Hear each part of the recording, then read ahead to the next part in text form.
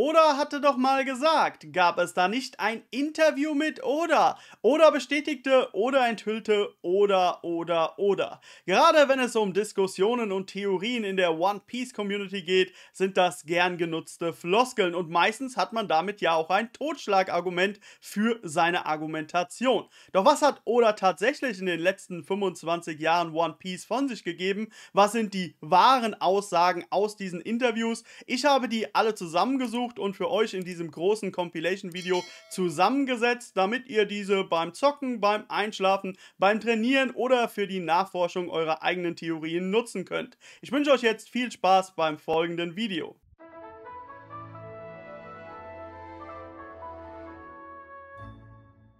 Und wir beginnen im Jahre 1998.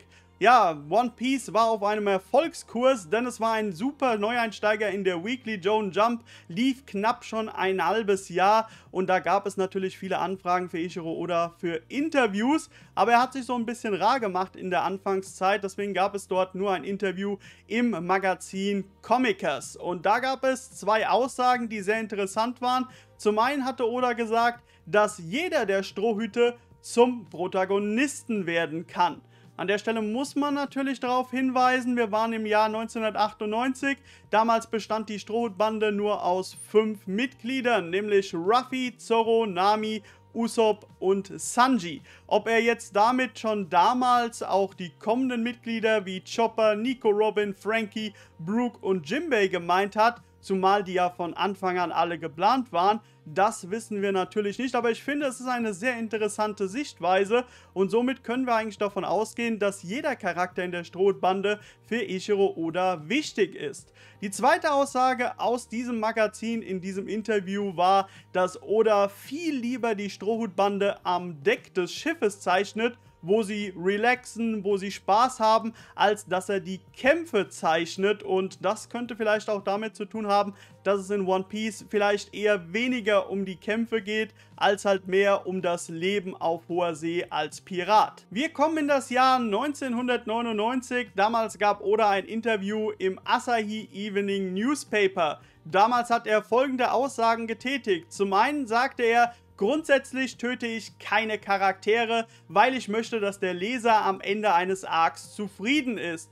Das sei mal so dahingestellt, denn die Leserschaft ist ja teilweise ein bisschen unzufrieden, dass One Piece selten sehr konsequent ist und Charaktere immer irgendwie irgendwo überlebt haben. Aber das ist die Grundeinstellung von Ichiro Oda und da ich ja fast alle SBS Fanposts von Oda gelesen habe, kann ich euch dort auch bestätigen, dass es dort zwei oder dreimal angesprochen wird, dass Oda eben nicht so gerne Charaktere tötet und dass er allgemein ein Problem mit dem Tod Tod hat.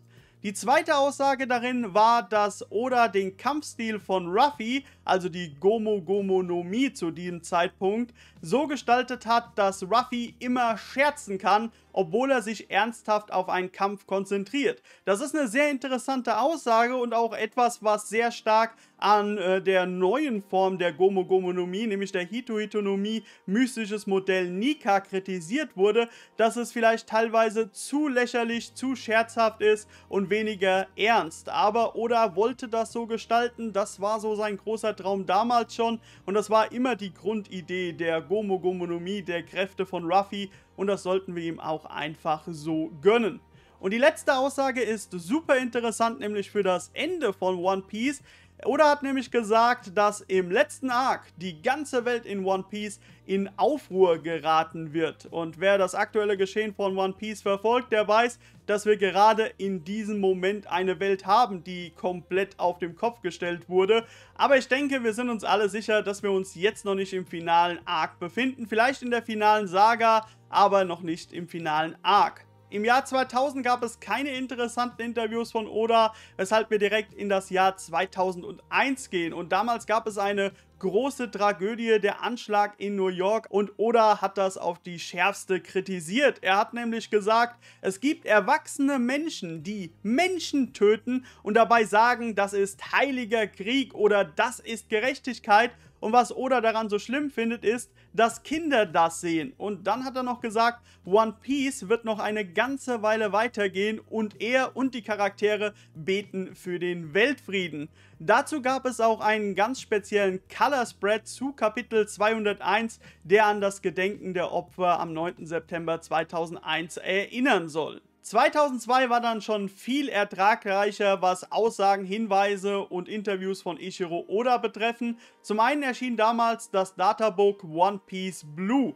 Da gab es zwei interessante Hinweise zu Oda. Zum Beispiel, dass wenn es um reale Piraten geht, er sich am meisten für Blackbeard interessiert. Und zum anderen, wenn er es irgendwann geschafft hat, One Piece fertigzustellen, möchte er einen Roboter-Manga zeichnen. Das wird auch nochmal in einem späteren Interview aus dem Jahre 2008 aufgegriffen, dass er das eigentlich immer noch gerne machen würde. Aber ich denke, mittlerweile geht One Piece so lange, dass er sich das eher dann in One Piece selbst hineingezeichnet hat. Zum einen durch den Charakter Frankie und natürlich durch den aktuellen Vegapunk-Arc. Dann erschien das One Piece Animation Logbook und dort hat Oda gesagt, dass eine Gruppe von den Wellen der Zeit beeinflusst wird und immer wenn sich Menschen zusammentun, dann entsteht eine unaufhaltbare Macht und das wäre auch ein großes Thema in One Piece selbst. Dann gab Oda ein Interview für die Zeitschrift Manga Omo und dort hat er damals gesagt, dass es ihm egal ist, wenn die Leserschaft den Mittelteil einer Geschichte beklagt, weil er sich sicher ist, dass die Höhepunkte interessant werden. Und wenn wir das jetzt mal auf den vorherigen Arc, den Wano Kuni Arc übertragen, dann können wir dieses Muster auch noch heute erkennen, denn der Mittelteil vom Wano Kuni Arc, der wurde ja doch scharf kritisiert, aber ich denke, die meisten fanden die Höhepunkte im Wano Kuni Arc dann doch spitze. Und eine weitere Aussage, die ich ziemlich lustig finde, ist, dass Oda damals im Jahr 2002 gesagt hat in diesem Interview, dass wenn er alles niederschreiben würde, was er im Kopf hat, dann würde es sicher noch 20 Jahre dauern, bis One Piece fertiggestellt ist.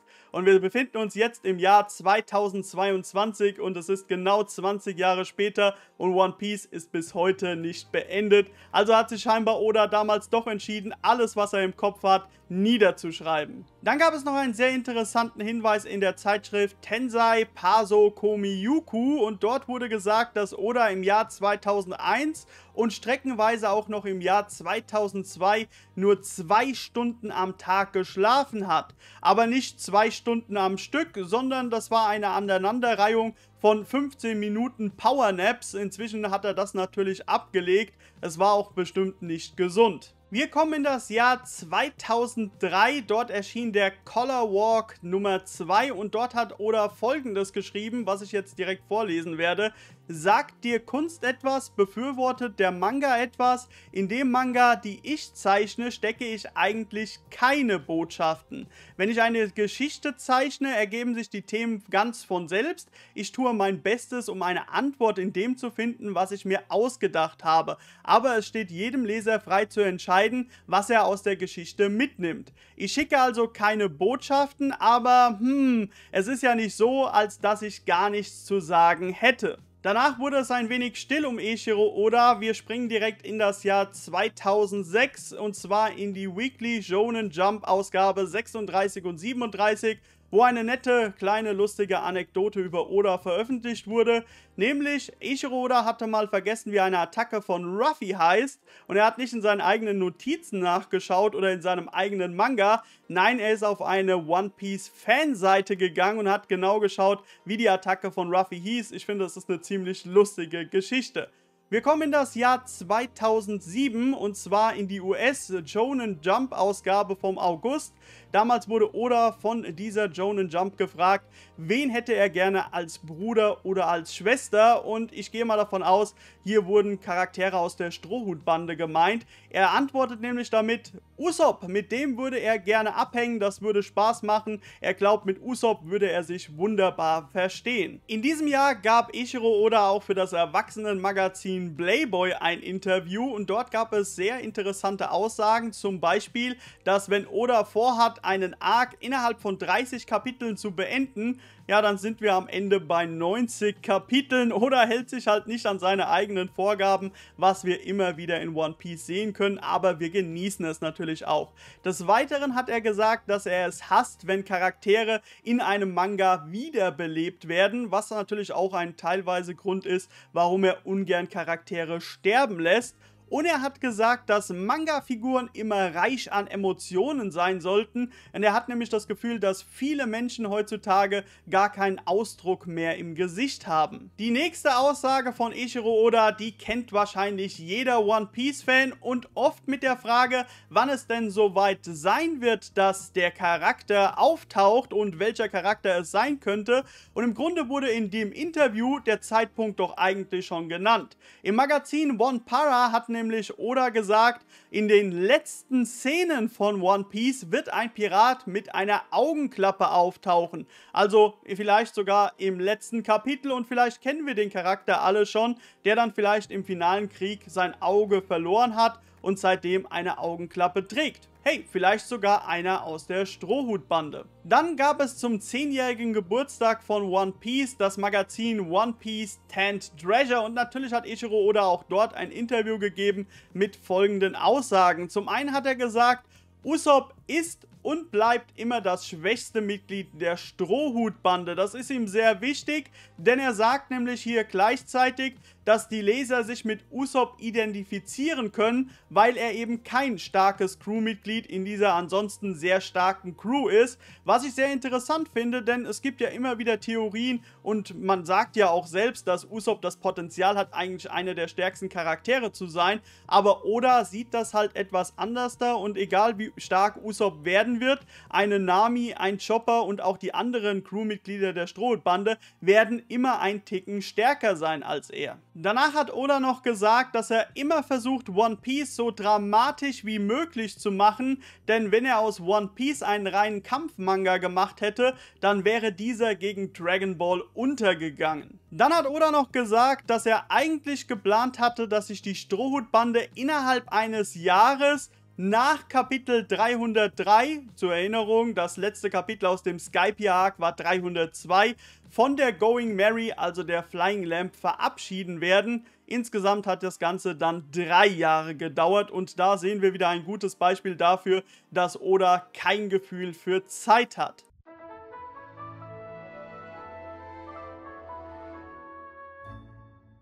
Wir beginnen dieses Video im Jahre 2008 und dort hat Oda folgende Aussagen getätigt. In diesem Jahr gab es nämlich ein Interview zwischen Eiichiro Oda und dem Mangaka Usata Kyosuke. Ich habe ihn bereits im ersten Teil erwähnt, weil hier nämlich die Sache, dass Oda, sofern er One Piece jemals beendet, einen Roboter-Manga zeichnen möchte und Usata ist dafür auch relativ bekannt gewesen. Er hat nämlich ebenfalls für die Weekly Jonen Jump geschrieben. Doch was wurde jetzt von Oda in diesem Interview gesagt? Zum einen hat er nämlich gesagt, Personen Personen mittleren Alters sind ziemlich stark in One Piece und in der realen Welt gibt es viele coole Menschen im mittleren Alter, aber die sind leider nicht so stark und Oda würde sich wünschen, dass in Manga Menschen mittleren Alters immer stark sind.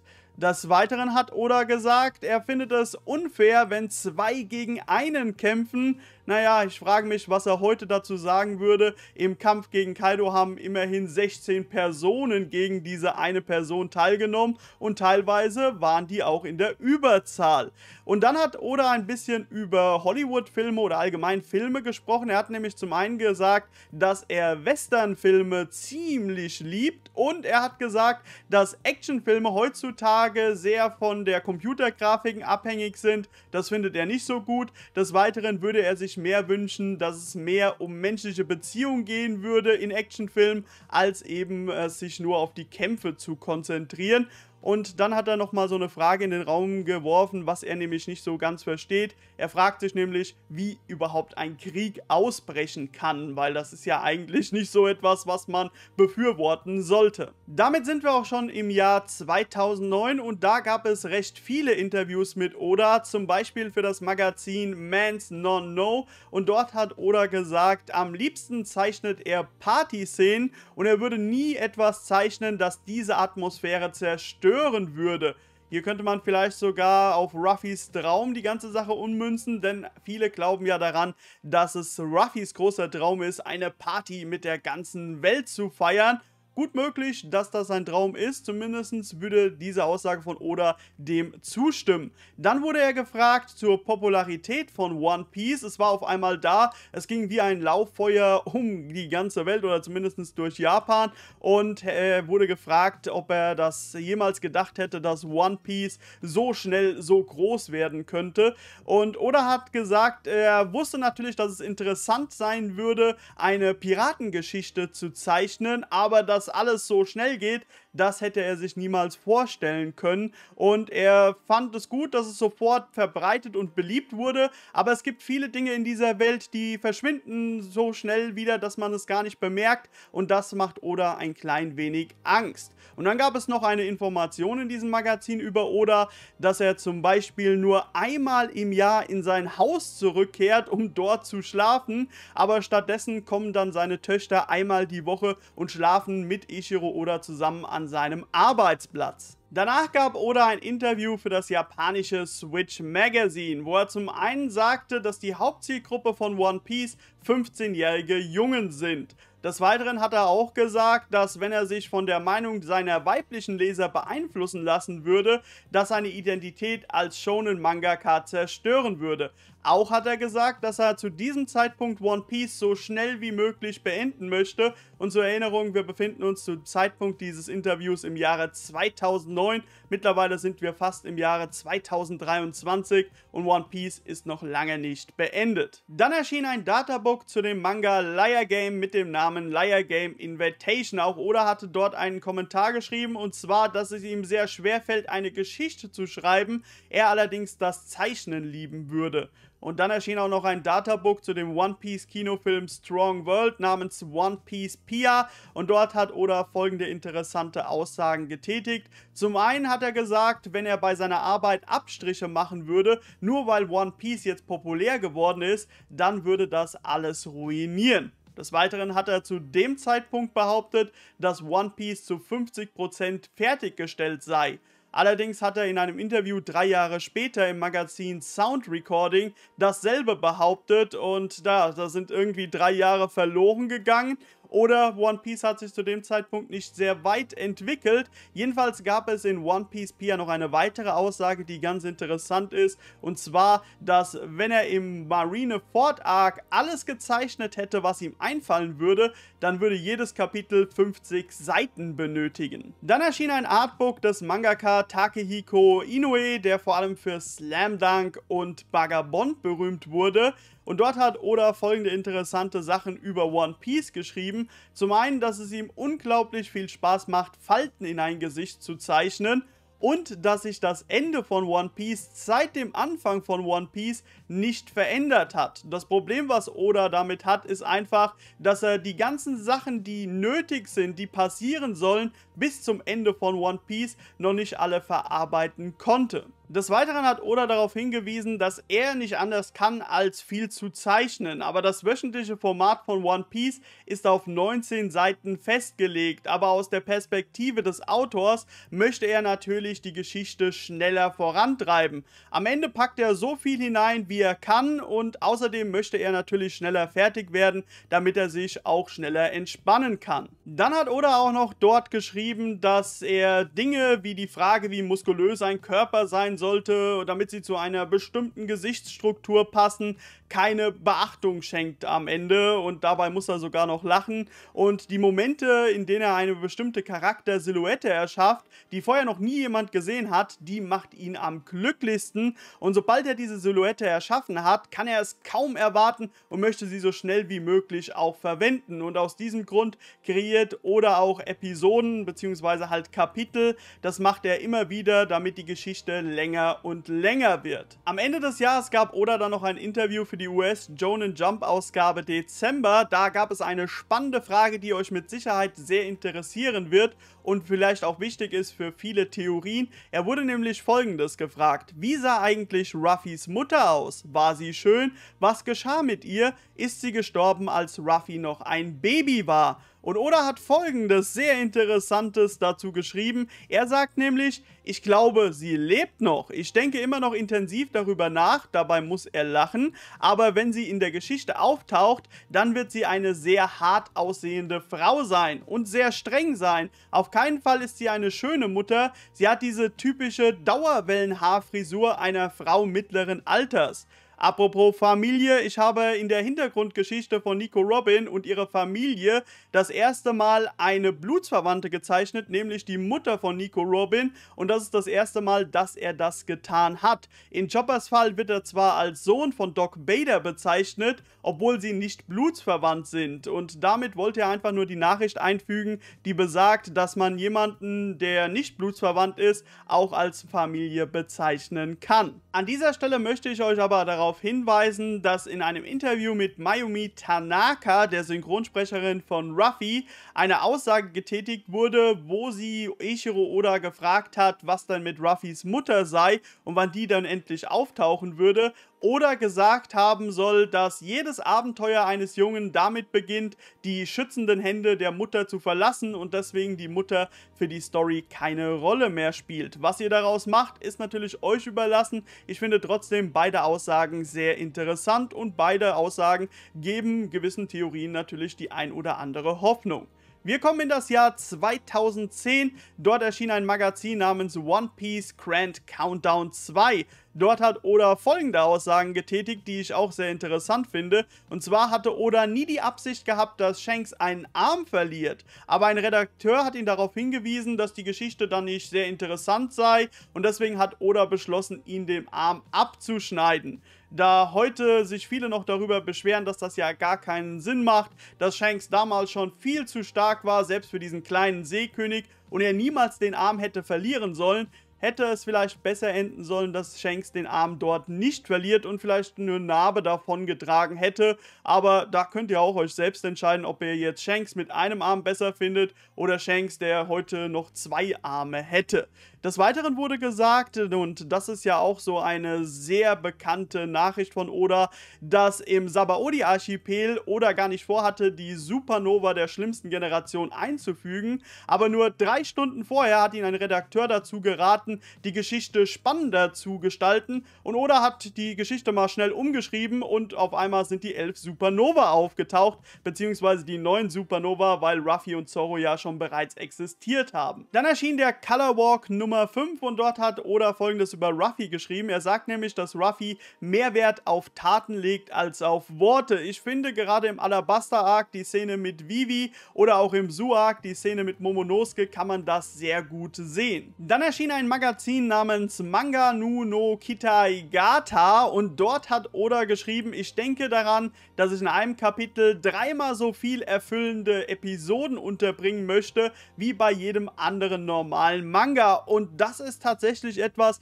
was mir bei den ganzen Reviews immer wieder mal aufgefallen ist, dass die meisten Kapitel immer in quasi so drei Episoden unterteilt sind, drei verschiedene Szenen gezeigt werden, auf die sich konzentriert werden. Und das ist natürlich nicht in jedem Kapitel so der Fall, aber bei den überwiegenden Kapiteln, ihr müsst mal darauf achten, wenn ihr den Manga lest. Am Ende des Jahres 2010 fand dann auch noch die Jump Festa 2011 statt und dort hat Oda etwas über den One Piece Anime gesagt. Er wurde nämlich wütend, als er gesehen hat, wie Ace im Anime getötet wurde und er hat sich gefragt, warum man Ace auf diese brutale Weise hat töten müssen. und das wurde auch nochmal später in einem Databook Eternal Log aufgegriffen aus dem Jahre 2012.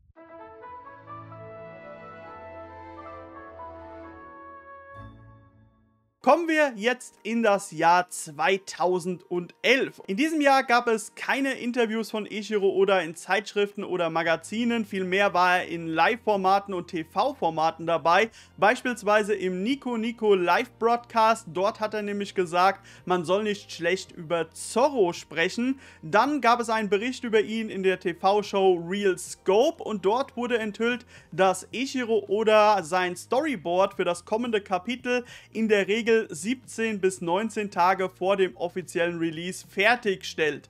Das kann sich natürlich in den letzten Jahren wieder geändert haben, aber im Jahre 2011 war dies der Fall. Und dann gab es noch einen kurzen Bericht über Eshiro Oda in der TV-Show Bakana Huri Shite Kite Mita und dort wurde noch einmal verkündet, dass Oda im Jahre 2011 mehr als 25 Millionen US-Dollar verdient hat.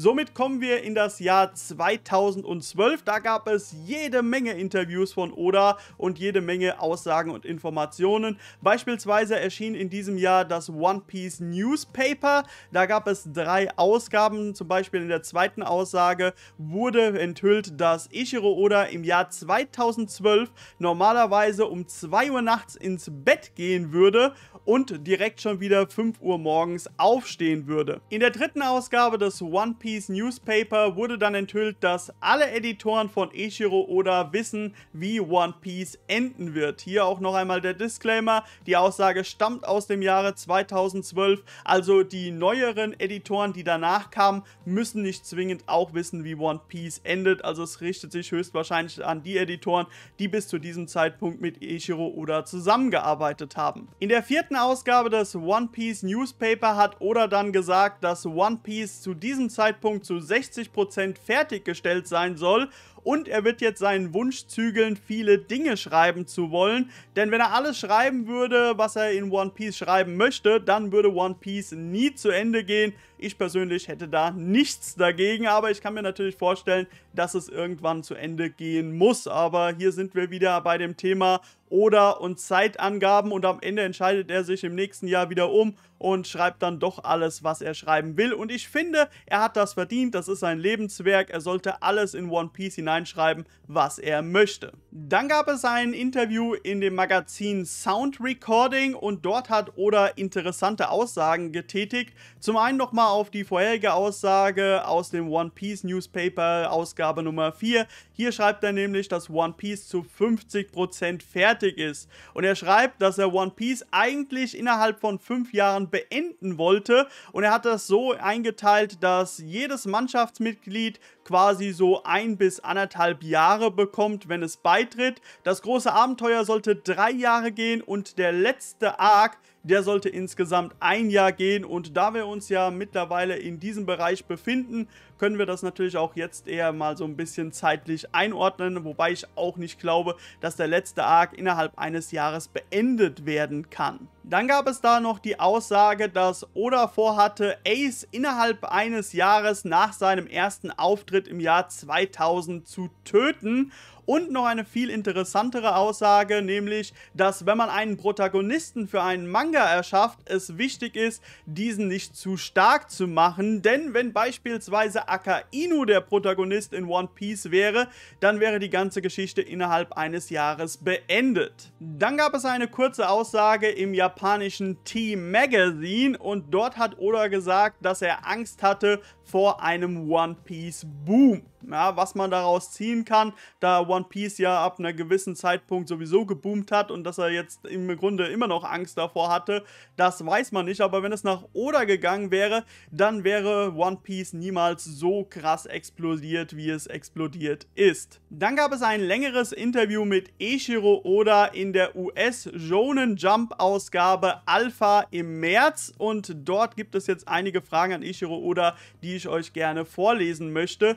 Zum einen wurde er gefragt, in der Welt von One Piece gibt es viele verschiedene Arten von Piraten mit einzigartigen Stilen. Wie und wann ist Eiichiro Oda auf die Idee gekommen, einen Manga über Piraten zu schreiben? Und Oda hat gesagt, seit er klein war, mochte er Piraten. Als Kind mochte er eine Anime-Serie namens Vicky und die starken Männer. Darum ging es um einen kleinen Jungen, der Wikinger bewundert und davon träumt, einer von ihnen zu werden, sobald er groß ist. Als er für One Piece Nachforschung über Piraten anstellte, stellte er fest, dass Wikinger eine Art Piraten sind. Und das findet er toll, Freunde in einem Team zu haben, genau wie in der Wiki-Serie. Das ist vielleicht nicht der beste Vergleich, aber ich habe das Gefühl, dass sich der Geist dieser Serie in seiner Arbeit fortsetzt. Als nächstes wurde Eiichiro Oda gefragt, wenn er sich einer beliebigen Piratencrew in One Piece anschließen könnte, außer der Strohhutbande, welcher würde er beitreten und warum?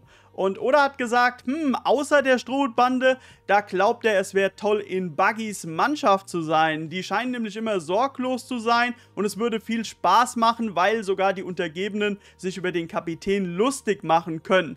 Wenn Ichiro Oda in One Piece allerdings wirklich stark wäre, dann würde er zu den Blackbeard-Piraten gehören. Als nächstes kam die Frage, ihr Manga ist nicht nur für seine unglaubliche Action berühmt, sondern auch für seine herzergreifenden Momente in Klammern, wir haben im Büro sicherlich schon einige männliche Tränen geweint. Was ist ihr Geheimnis, wie sie so starke emotionale Reaktionen bei den Menschen hervorrufen? Und Ichiro Oda hat geantwortet, die Sache ist die, dass ich mich schnell langweile. Wenn es in einem Manga nur um Action, Comedy oder tränenreiche Momente ginge, würde er sich sehr schnell langweilen als andere. Also ändert er den Stil der Serie, um die Motivation beim Zeichnen aufrecht zu erhalten das eigentliche Geheimnis. Äh, er denkt an die Handlungen und Szenen, wenn er müde ist. Die einzige Möglichkeit, eine neue Idee zu finden, ist, viel darüber nachzudenken, ohne zu schlafen oder zu essen. Das ist der einzige Weg, den er kennt, denn der Mensch kann nur dann wirklich neue Ideen entwickeln, wenn er an seine Grenzen stößt. Wenn ich also mit meinem Manuskript fertig bin, bin ich jedes Mal völlig erschöpft. Die nächste Frage. Es ist kein Geheimnis, dass sich ihr Manga wie ein Renner verkauft und in Japan sogar Rekorde aufgestellt hat.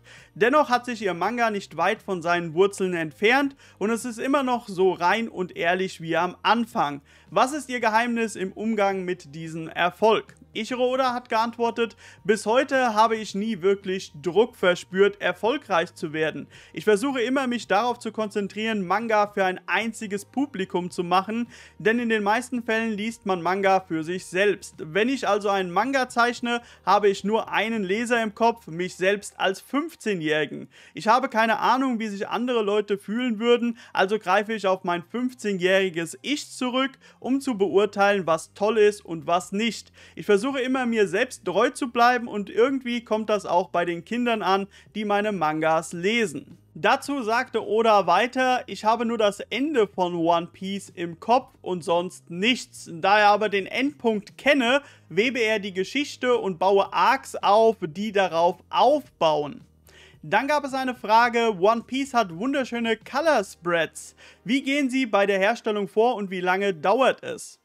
Oder hat geantwortet, ich habe schon viele farbige Illustrationen gezeichnet. In letzter Zeit brauche ich mehr Zeit, um darüber nachzudenken, was ich zeichnen möchte, also um es tatsächlich zu zeichnen. Aber wenn es eine unvollständige Idee ist, würde ich mich beim Zeichnen langweilen.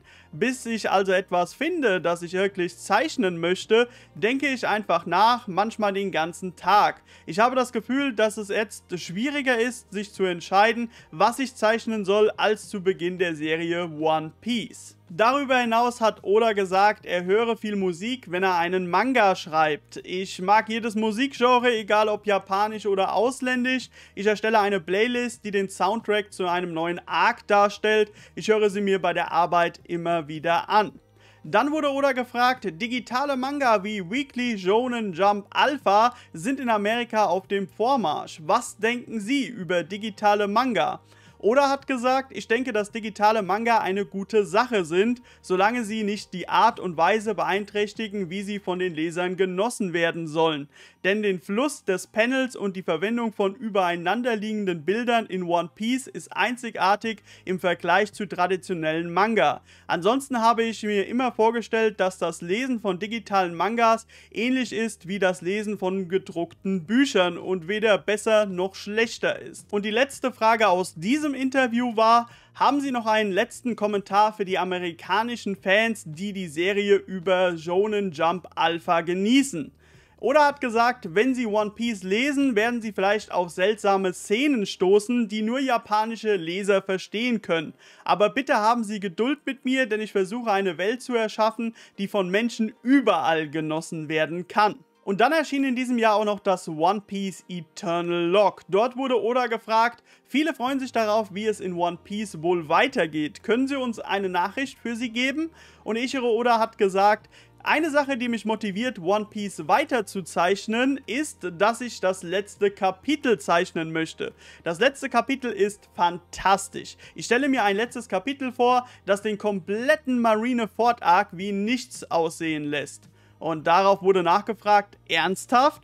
Oder hat gesagt, der Marineford Arc hat sich für mich wirklich wie ein Abstecher angefühlt. Ich hatte nicht erwartet, dass er so beliebt sein würde. Ich weiß also nicht, wie die Leser diesen Teil aufnehmen werden. Aber ich denke, dass das letzte Kapitel interessant sein wird. Bis dahin wünsche ich mir, dass so viele Fans wie möglich bei mir bleiben. Im Jahre 2013 gab es dann nochmal einen Bericht über Eiichiro Oda in der japanischen TV-Show Job Tune. Dort wurde enthüllt, Oda lädt manchmal seine Freunde zu sich nach Hause ein und veranstaltet eine Party. Und in Eiichiro Odas Haus gibt es einen Fluss, ein lebensgroßes Giraffenmodell und einen kleinen Zug. Und schließlich fand dort auch noch die Jump Festa 2014 statt und dort wurde einiges über Ichiro Oda enthüllt. Zum Beispiel, dass Oda sehr oft weint, wenn er One Piece zeichnet und schreibt. Die herzzerreißendste Szene für ihn ist diese, wenn Vivi das Volk darum bittet, den Krieg zu beenden. Und dann wurde gesagt, dass Oda nie die Absicht hatte, dass die Strohhüte Abschied von der Going Mary, also der Flying Lamp, nehmen. Aber er entschied sich dafür, da die gegnerischen Schiffe der Strohhutbande immer stärker wurden. Und dann wurde auch noch gesagt, dass Oda sich diese eine Seite ausgedacht hat, erst kurz bevor das Kapitel veröffentlicht wurde. Und das ist der Abschied von Vivi, wo sie alle ihre Arme nach oben strecken und dort das X als Zeichen für Nakama präsentieren.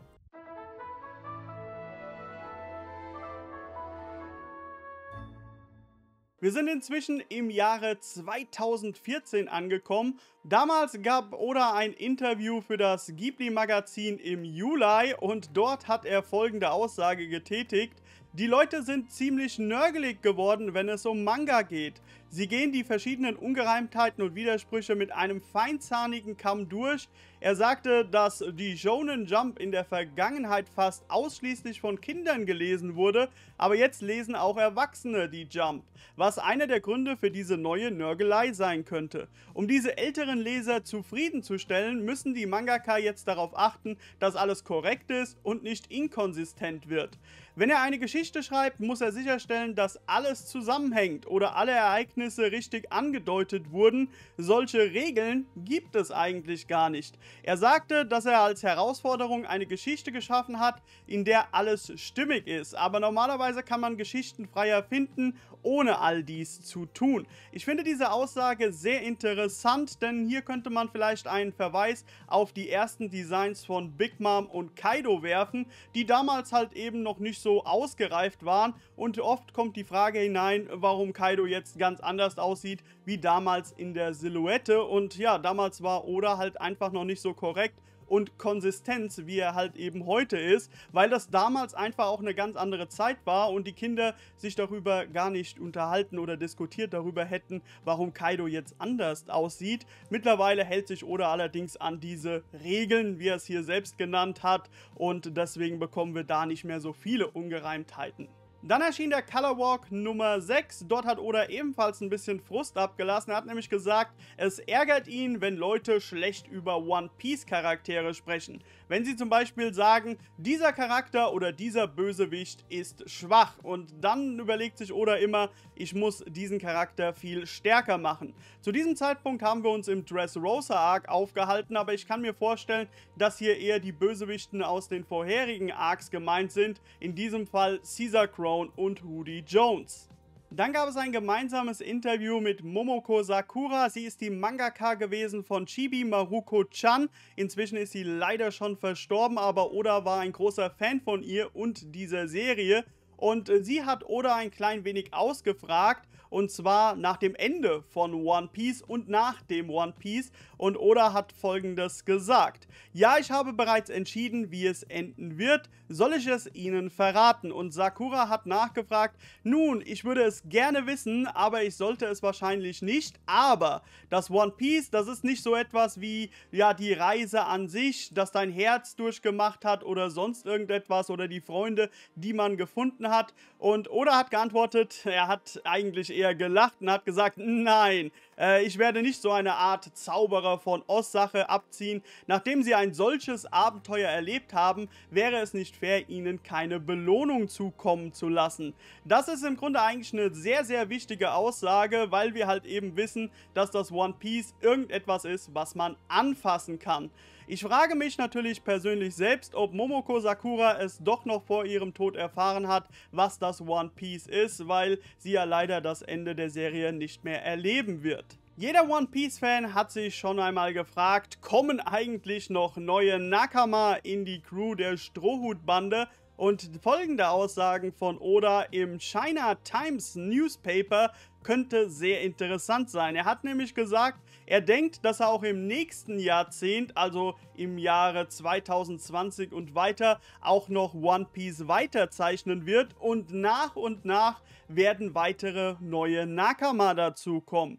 Okay, wir können das Ganze hier mal an der Stelle ein bisschen aufschlüsseln. Dazugekommen ist streng genommen nur Jimbei, aber wir dürfen natürlich nicht vergessen, dass auch andere Mitglieder in die Strohbande aufgenommen wurden, aber nicht auf der 1000 Sunny mitreisen, wie beispielsweise Otama, der versprochen wurde, sobald sie eine bezauberte Kinoshi geworden ist, sobald sie alt genug ist, darf sie sofort mitreisen. Yamato ebenfalls, sie hat sich ja dafür entschieden, in Wano Kuni zurückzubleiben und dasselbe Angebot ging natürlich auch an Momonosuke und Kinemon. Ob Oda diese Charaktere gemeint hat oder wir tatsächlich noch in den kommenden Arcs den ein oder anderen Nakama fest auf der 1000 Sunny mitbekommen, ja, da lassen wir uns doch einmal überraschen, aber die Chancen stehen mehr als gut. Und eine weitere Information aus dem China Times Newspaper über Ichiro Oda haben wir bekommen, nämlich über seinen damaligen Schlafrhythmus. Er ist nämlich morgens um 8 Uhr ins Bett gegangen und um 12 Uhr mittags bereits wieder aufgestanden, sprich er hat nur 4 Stunden am Tag geschlafen. Dann gab es eine One Piece Expo in Taiwan und dort gab es eine Aussage vom Editor Onishi und der hat damals gesagt, One Piece ist zu 60 bis 70 Prozent fertig und wird wahrscheinlich in 10 Jahren abgeschlossen. Wir hatten damals das Jahr 2014, bedeutet also, dass One Piece im Jahre 2024 zu Ende gehen könnte. Halte ich für unrealistisch, aber viel länger könnte es halt eben auch nicht mehr gehen, sofern wir diesen Aussagen glauben dürfen. Am Ende des Jahres gab es dann die Jumpfesta 2015. Dort wurde bekannt gegeben, dass es mindestens 15 Notizbücher mit Odas Ideen gibt zum Dressrosa Arc. Des Weiteren wurde auch bekannt gegeben, dass Oda einen Zettel aufgehängt hat an seinem Arbeitsplatz, wo drauf steht, Erfrischung ist nur eine Ausrede für Faulheit. Damit kommen wir in das Jahr 2015. Damals erschien das Jumpstyle Magazin Manga Kurs inklusive einer DVD. Dort haben wir einige Informationen zu Ishiro Oda bekommen. Er hat nämlich dort gesagt, ich habe meine Zeichenfähigkeiten geübt, indem ich mir Disney-Zeichentrickfilme wie Peter Pan angesehen habe. Oda fand, dass Disneys Kunststil damals, als sie noch handgemachte Animationen produzierten, fantastisch gewesen ist. Er sagte, ich sah mir Ariel, die kleine Meerjungfrau, Bild für Bild an und er zeichnete alle Figuren und Gesichtsausdrücke nach, die ihn beeindruckten. Dann erfahren wir, dass Oda ursprünglich gar nicht geplant hatte, die Vergangenheit von Senior Pink zu zeichnen. Allerdings hat er sich dann mit einem Redakteur getroffen und der war so gerührt von der Hintergrundgeschichte von Senior Pink, dass sich Oda dann doch entschieden hat, diese zu zeichnen und die kam ja beim Publikum auch sehr gut an. Dann erfahren wir noch, dass bevor Oda mit One Piece angefangen hat, ihm ein Redakteur namens Kushima gesagt hat, dass keiner seiner weiblichen Figuren süß sei. Und Oda war tatsächlich so schockiert, dass er am Abend kein Auge mehr zubekommen hat. Und dann erfahren wir noch, dass Oda ganz selten Urlaub macht, aber er trifft sich immer mit Freunden und seinen Manga-Lehrern, wenn die Weekly Jonen Jump Doppelausgaben macht. Das heißt also, immer wenn wir eine Weekly Jonen Jump Shueisha Pause haben, trifft sich Oda halt eben mit Freunden und Manga-Lehrern. Das nutzt er halt als Freizeit. In diesem Jahr fand natürlich auch die Jump Festa 2016 statt und Oda kam damals noch persönlich und gab ein Interview mit der Jonen Jump. Und er wurde gefragt, ich werde es euch auch einblenden, aber natürlich auch für euch übersetzen, was ist die Jonen Jump für dich? In ein, zwei Worten. Und er hat gesagt, es ist halt ein Weg, sich die Zeit zu vertreiben und es sollte nicht mehr als das sein, aber halt eben auch nicht weniger als das. Es ist halt eine kurzzeitige Unterbrechung des Vergnügens, das du jeden Tag in deinem Leben Leben erlebst. Dann wurde er nachgefragt, aber was ist denn mit Manga? Und er sagt, ja, das ist im Grunde dieselbe Antwort für Manga, ein Weg, sich die Zeit zu vertreiben. Und die Jonen Jump ist da gar keine Ausnahme. Er selbst will aber der König äh, sein, ihm sich die Zeit zu vertreiben. Und dann wurde er gefragt, ob es etwas Spezielles gibt, auf das er sich letztens gefreut hat. Und er sagt, er habe japanischen Sake für sich entdeckt und hat jetzt erst überhaupt festgestellt, wie lecker Sake überhaupt ist. Dann wurde er gefragt, ob er da einen favorisierten Sake hat und er sagt, Hitakami Sake ist richtig gut. Und zum Schluss wurde er noch gefragt, ob er sich auf etwas Spezielles im Jahr 2016 freuen würde. Und er sagt, hm, schauen wir mal, auf was freue ich mich dann? Und er sagt, ja gut, da kommt natürlich der neue One Piece Film, aber mehr ist in diesem Jahr auch nicht, worauf er sich speziell freut.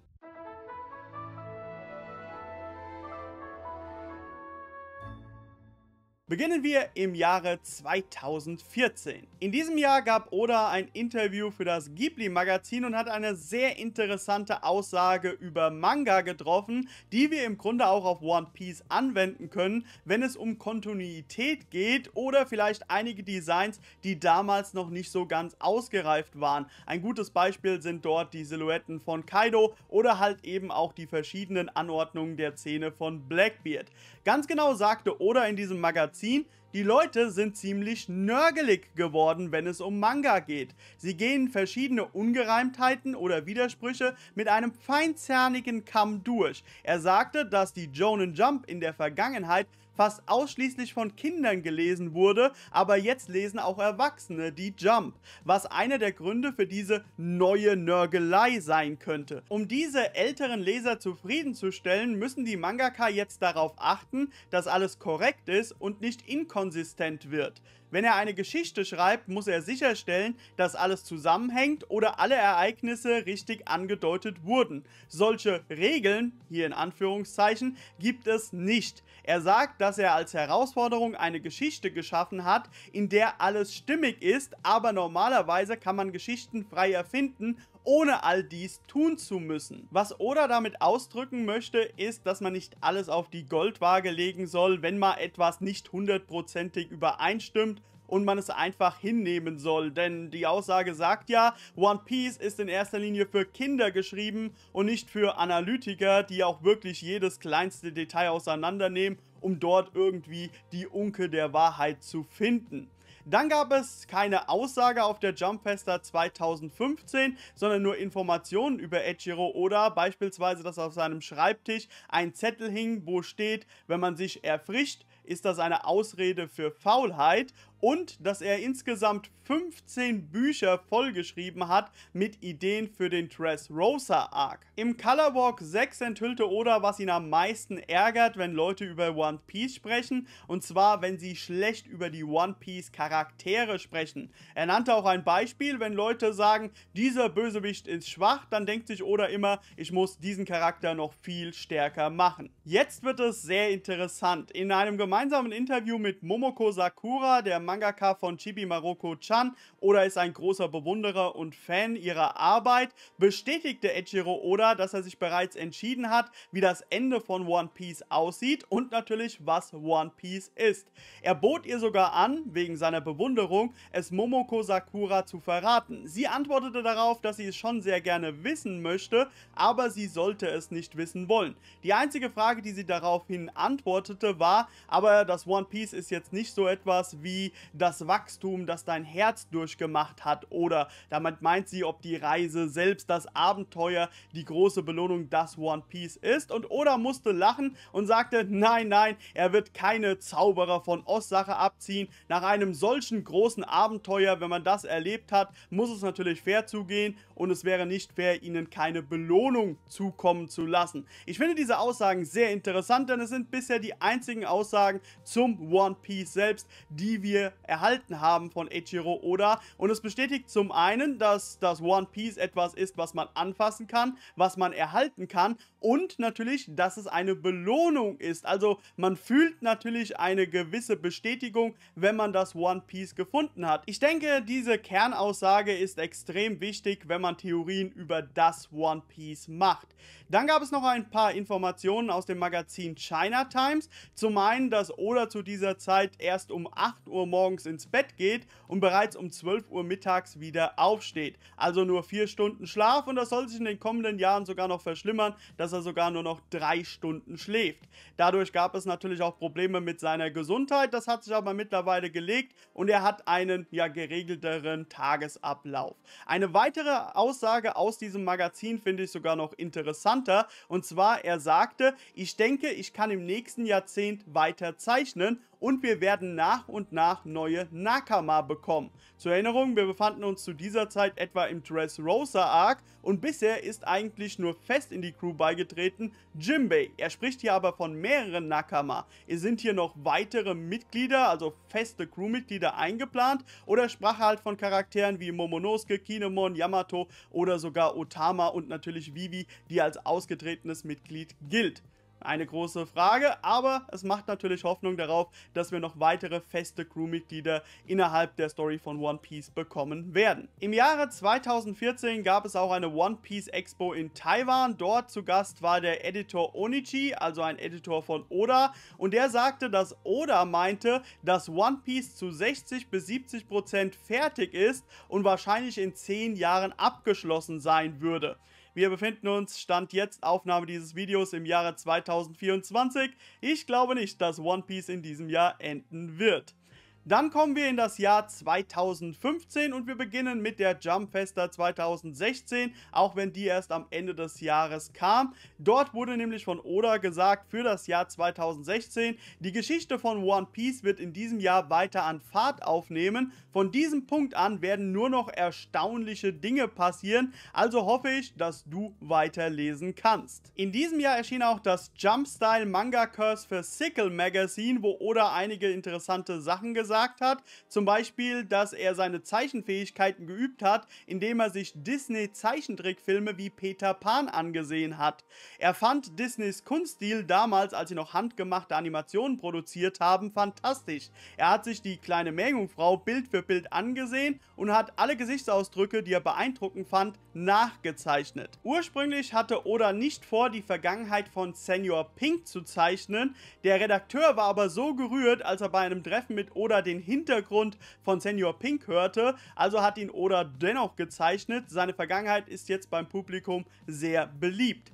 Bevor Oda mit One Piece anfangen, hat ihm der Redakteur Koshima gesagt, dass seine weiblichen Figuren einfach nicht süß aussehen. Oda war so geschockt, dass er diese ganze Nacht nicht schlafen konnte. Und Oda macht wirklich sehr selten Urlaub, aber er trifft sich oft mit seinen Freunden und seinem Manga-Senseis, wenn die Weekly Jump Doppelausgaben hat und demnach natürlich eine Weekly Jonen Jump Pause entsteht. Im Jahr 2016 gab es ein schlimmes Erdbeben in Kumamoto, also eigentlich in ganz Kyushu und da Oda dort aufgewachsen ist, hat er sich natürlich zu Wort gemeldet. Er sagte, es gab ein großes Erdbeben in Kumamoto, ich bin in Kumamoto geboren und aufgewachsen. Ich möchte allen, die von der Katastrophe betroffen sind, mein tiefstes Mitgefühl aussprechen. Ich konnte alle meine Verwandten und Freunde direkt direkt kontaktieren. Alle waren sehr verängstigt, aber sie tun ihr Bestes. Als ich sie kontaktiere, waren sie diejenigen, die versucht haben, mir Dinge zu sagen, um mich zu beruhigen. Und ich dachte, wow, die sind aber hart im Nehmen. Aber die Menschen können nur eine bestimmte Zeit durchhalten, bevor sie zusammenbrechen. Möchte ich dafür sorgen, dass sie sich in einer Situation befinden, in die sie sich entspannen und sicher fühlen können. Die Erwachsenen versuchen verzweifelt, die Kinder ruhig zu halten. Ich möchte, dass die Kinder wieder lachen können. Und dann können die Erwachsenen auch weitermachen. Es fällt mir immer noch schwer, den Menschen in Kumamoto zu helfen, aber ich werde auf jeden Fall bei den Wiederherstellungsarbeiten mithelfen. Bitte haltet bis dahin durch. Dann gab es ein Interview mit Oda im One Piece Newspaper und dort wurde er gefragt, vor vier Jahren sagten sie, ich sagte schon seit zwei Jahren, dass wir die Hälfte der Zeit erreicht haben, jetzt sind wir bei 60%. Wie sieht es inzwischen aus? Oder antwortet darauf, ich würde sagen etwa bei 65%. Ich brauche den Mut, die Ideen, die ich mir ausdenke, weiterzuentwickeln. Es ist ein Wettlauf mit der Zeit zwischen meiner verbleibenden Lebensspanne und dem Ende der Serie. Nehmt das nicht so ernst oder hat hier gelacht. Ich werde nicht in der Lage sein, nach One Piece eine weitere lange Serie zu machen und später korrigierte er sich von 65% noch auf 70%. Dann am Ende von 2016 fand natürlich die Jump Festa 2017 statt und das war die letzte Jump Festa, wo Echiro Oda persönlich aufgetaucht ist. Er sagte nämlich damals, die Superbühne der Jump Festa macht jedes Jahr wirklich Spaß, aber ich habe beschlossen, dass mein diesjähriger Auftritt auch mein letzter sein wird, um meine Ästhetik als Mangaka willen. Ich danke euch. Allgemein hat sich Oda nach dieser Jump Festa ziemlich rar gemacht. Er hat sich auch kaum noch in der Öffentlichkeit gezeigt, weshalb natürlich auch die Interviews eher weniger wurden. Und wenn es mal ein Interview gab, gab es tatsächlich nicht so wirklich interessante Aussagen. Aber es gab natürlich noch die offenen Briefe auf den Jump Festas und damit gehen wir auch in das Jahr 2017 zur Jump Festa 2018 und die Aussagen dort dürften einigen noch gut in Erinnerung geblieben sein. Er sagte, sagte folgendes. Ich werde eine der Legenden vorstellen, die in der One Piece Welt lauern. Kurzer Einwurf von mir, das könnte eventuell Roxy Sebek oder Imu selbst sein, denn beide Charaktere wurden im Folgejahr im Reverie Arc vorgestellt und können tatsächlich als Legenden betitelt werden. Die nächste Aussage richtete sich nach dem größten Feind aller Zeiten für die Strohhutbande, der ihnen den Weg versperren wird. Hier könnte es sich eventuell um Kaido handeln, auch wenn da natürlich viele Leute anderer Meinung sind. Da es sich aber mittlerweile erledigt hatte mit dieser Aussage, können wir stark davon ausgehen, dass er damit Kaido gemeint hat.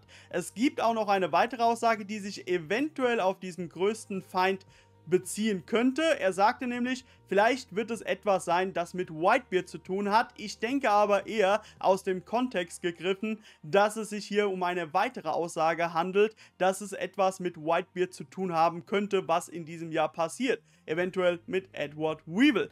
Dann sagt er Oda am Ende noch, ups, ich bin wohl zu gesprächig, aber kannst du dir vorstellen, dass der Gipfelkrieg von Marineford im Vergleich dazu niedlich aussehen wird? Und damit meinte er nicht den Krieg Krieg auf Wano Kuni oder den Wano Kuni Arc, wobei das sei mal dahingestellt, sondern halt tatsächlich das kommende One Piece Jahr. Im Jahre 2018 auf der Jumpfester 2019 enthüllte Oda in seinem Brief, der Kern der großen Geschichte wird sich allmählich auf das Leben von Kozuki Oden konzentrieren in Wano Kuni. Auch das haben wir im Folgejahr dann natürlich gesehen. Des Weiteren hat er eine Aussage getroffen zur Reverie und dass dort ein unerwarteter Vorfall passieren wird.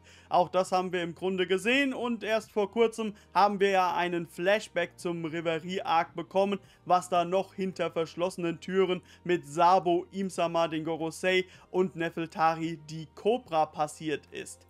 Dann im Jahre 2019 auf der Jumpfester 2020 sagte Oda, auch der Wano Kuni Bogen steuert endlich auf seinen Höhepunkt zu. Ich habe mich schon sehr darauf gefreut, Wano Kuni zu zeichnen. Ich bin also ganz aufgeregt und dann eine Voraussage für das kommende Jahr von One Piece und wenn es soweit ist, wird es sehr düster werden. Sabo wird, Punkt, Punkt, Punkt, Vivi wird, Punkt, Punkt, Punkt, Hancock wird, Punkt, Punkt, Punkt und am Ende hat Oda geschrien. Ah! aber wir wissen natürlich mittlerweile, was mit diesen drei Charakteren passiert ist, also alles in Ordnung. Im Jahre 2020 auf der Jumpfester 2021 sagte Oda nur, er fragt sich, ob er bald seinen Zug machen wird, der rothaarige Mann. Ja, eine Aussage, die uns sehr aufgeregt hat, aber wir sollten die uns im Hinterkopf behalten für die kommenden Aussagen, denn es scheint jetzt hier immer mehr um Shanks zu gehen. Und klar hatten wir etwas mehr gehofft, als nur, dass er am Ende vom Wano Kuniak auftaucht. Und am Ende war es vielleicht auch nur große Promo für den One Piece Film Red. Aber am Ende kann man sagen, Oda hat jetzt hier auch nicht unbedingt gelogen. Wir haben einfach nur zu viel erwartet. Im Jahr 2021 auf der Jump Festa 2022 sagte Oda, er ist überrascht, dass der Wano Kuniak immer noch nicht vorbei ist. Wie auch immer, Ruffy, kümmere dich bitte um die Hauptfigur, ich hoffe, ich kann sie gut zeichnen. Außerdem möchte er unbedingt die letzte Szene im Wano Kuni Arc zeichnen. Rückblickend könnte man eventuell meinen, dass Oda durch diese Aussage bereits die Gear 5 Form von Ruffy, also Nika, angeteased hat und diese möglichst gut zeichnen möchte. Im Jahre 2022 auf der Jumpfester 2023 sagte Oda folgendes. Überraschenderweise werden diese Figur und diese Figur im Jahr 2023 kämpfen und er hofft, dass niemand dabei stirbt. Des Weiteren kündigte er eine große Battle Royale an und tatsächlich haben wir ja solche Ereignisse bekommen. Zum Beispiel der Kampf Kusan gegen Garb. Wir fragen uns immer noch, wie ist der am Ende ausgegangen? Hat Garb überlebt? Der Kampf Shanks gegen Kid hat Kid die ganze Sache überlebt und dann natürlich das Zusammentreffen zwischen Blackbeard und Law und wir können zumindest hiervon ausgehen, dass Law das Ganze überlebt hat. Aber was ist mit den anderen Charakteren? Wann wird Oda uns enthüllen, ob diese überlebt haben oder doch an diesem Punkt gestorben sind. Und abschließend im Jahre 2023 auf der Jumpfester 2024 verkündete Oda, und zu guter Letzt könnte das lang erwartete Aufeinandertreffen zwischen dieser Person und dieser anderen Person einen unerwarteten Ausgang nehmen. Hier wird nicht von einem Kampf gesprochen in erster Linie, wobei es natürlich auch zu einem Kampf kommen könnte. Aber was ist genau mit dieser Aussage gemeint? Mittlerweile haben wir ja die offizielle Übersetzung dieser Aussage und nicht diese Leaks, die wir damals zur Jumpfester 2024 bekommen haben, wo es noch irgendwie mehr in Richtung eines Kampfes Kampfes ging. Und mittlerweile sind ja auch einige Kapitel in diesem Jahr erschienen. Vielleicht ist ja dieses Ereignis, was Oda damals angekündigt hat, bereits geschehen. Vielleicht ein lang erwartetes Aufeinandertreffen von Karibu und den Blackbeard-Piraten oder vielleicht passiert auch in diesem Jahr noch etwas, vielleicht auch das lang erwartete Aufeinandertreffen von Shanks und Blackbeard. Denn ich denke, dieses Ereignis, auf das freuen wir uns schon seit Jahrzehnten.